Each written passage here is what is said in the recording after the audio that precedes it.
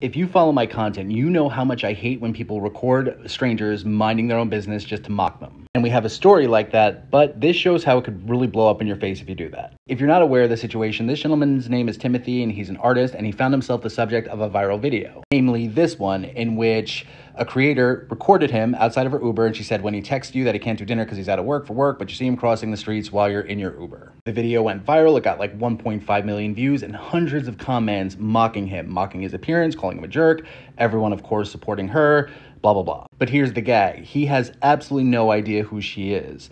And when he was notified that there was this video about him and he saw all the comments, he made a response saying, I'm not anyone who you know. I've been in a long term relationship for a while. And why is everyone attacking me for how I look? After that started making the rounds, the creator eventually took down the video, especially based on all of the harmful messages that the guy was getting.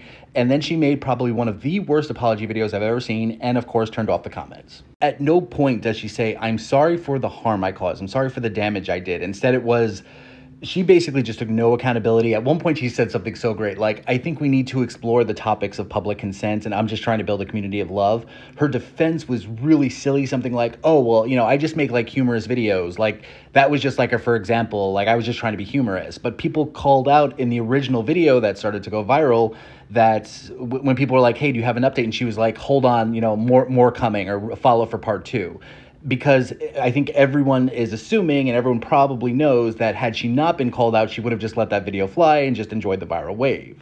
Timothy even duetted the video apology and really again called out all of the the non-apology elements to it. Now, he's made it very clear he doesn't want people attacking the other creator. He doesn't he just wants this done and over with. But please take this as a lesson to everyone. Do not record people without their consent if they're not doing anything wrong and especially not to mock them.